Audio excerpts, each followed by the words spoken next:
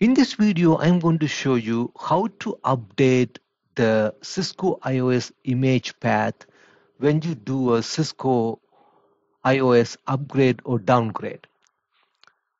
I actually have done this in the lab, but I had some audio issue, so it's hard to replicate the thing what I have done, but I have all the commands that I have used here. So I'm going to show you very quickly what I have done. So first thing I did is I updated the image from 12.225 to 12.255. So, but I haven't I haven't changed the image path yet. So what I did is show boot that will show you the current boot path. So the current boot path is telling me it is trying to boot to the old image, but it is not going to work after you update the new image. So if you issue a command show flash include bin, that's going to return what are the bin files you have in your flash. So you have only one bin file that is 55. So it is not 25. 25 has been deleted. So you have to change the boot path, otherwise the switch won't boot.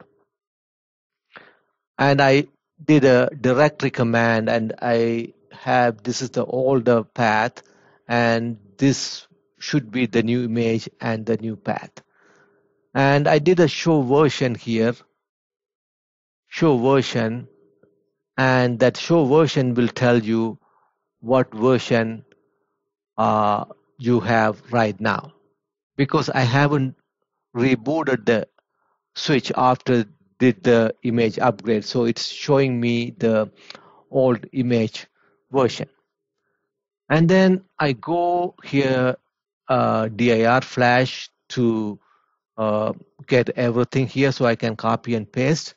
And then what I did is uh, boot system switch put a question mark here that gives you the option of 1 to 9 so you can define what switch you want to change this variable.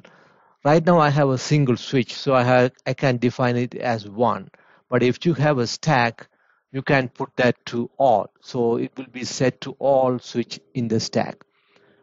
So i'm going to define this is the command i'm going to issue and what I did is I include a flash that should not be the case. I should use this command. Boot system switch one and image. And then after that, I issue a command here. Uh, okay, so I issued a command show boot and it's showing me the new boot image, right? And then what I have done is I did a write mem and then I reloaded the switch reload switch reload. And then what I have done is after reloaded so if you see here when it reload it reload from the new image right? After it reloaded and I came here I did a command show version yeah yeah. So it's it's came up to this one and then I did an enable command and then I did a show version and that gave me this new image. So let me do that again. Show version. You do the show version. It's going to give you the new image. And you show boot and it's it is giving you the new path. Boot path list is this is the one. Uh, hope uh, this video is helpful for you. Uh, don't forget to like and subscribe. If you have any question uh, please do ask them in the comment section. I will um, reply to all of your question also turn on your notification so you will get notified when I release a new video. All right. Thanks. Bye.